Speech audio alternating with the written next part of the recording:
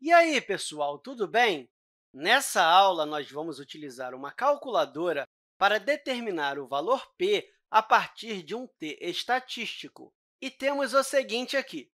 Miriam realizou um teste da hipótese nula, dizendo que a média é igual a 18, contra a hipótese alternativa, que diz que a média é menor do que 18, com uma amostra de 7 observações. Sua estatística de teste foi t igual a menos 1,9. Suponha que as condições para a inferência foram atendidas, qual é o valor p aproximado para o teste de Miriam? Eu sugiro que você pause o vídeo e tente resolver sozinho. Vamos lá!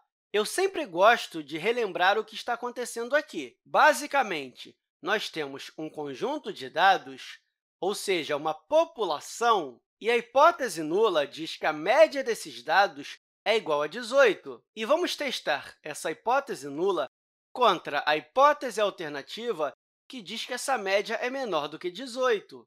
E para testar essa hipótese nula, a Miriam pega uma amostra dessa população que, nesse caso, são sete observações, por isso, o n é igual a 7, e, a partir dessa amostra, ela calcula a média e o desvio padrão. Com isso em mãos, ela consegue calcular essa estatística t, e ele pode ser calculado com a diferença entre a média amostral e a média populacional, considerando que a hipótese nula é verdadeira. E dividimos isso pelo erro padrão, que é a mesma coisa que o desvio padrão da amostra dividido pela raiz quadrada do tamanho da amostra, isso já foi calculado. É o t igual a menos 1,9. Portanto, isso é igual a menos 1,9. E eu posso desenhar aqui essa distribuição, sendo que a média da distribuição está aqui. E isso é bastante interessante, porque, observe, a hipótese alternativa diz que a média é menor do que 18, mas aqui nós estamos preocupados com essa área aqui. Isso porque ela representa a média menos 1,9. Portanto, a área destacada é a média menos 1,9. E para realizar esse cálculo, eu vou utilizar uma calculadora TI-84. E aqui nós temos a nossa calculadora e vamos colocar aqui na segunda distribuição, e eu vou nessa sexta opção, que é a função de distribuição t cumulativo, então, número 6, e coloco Enter.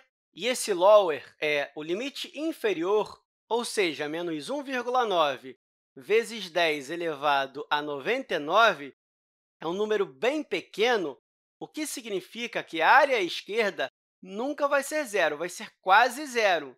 Aqui no upper é o limite superior, que nesse caso é menos 1,9, e no DF nós colocamos o nosso grau de liberdade, que é sempre o tamanho da amostra menos 1. Então, 7 menos 1 é igual a 6, e clicamos em Enter, e pronto! O nosso valor p seria aproximadamente 0,053. Portanto, o nosso valor p vai ser de aproximadamente 0,053.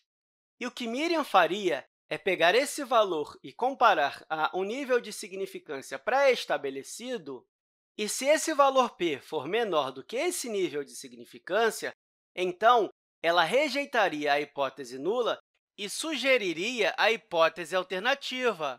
Mas, se esse valor estiver acima do nível de significância pré-estabelecido, então ela vai falhar se rejeitar a hipótese nula. E eu espero que essa aula tenha te ajudado e até a próxima, pessoal!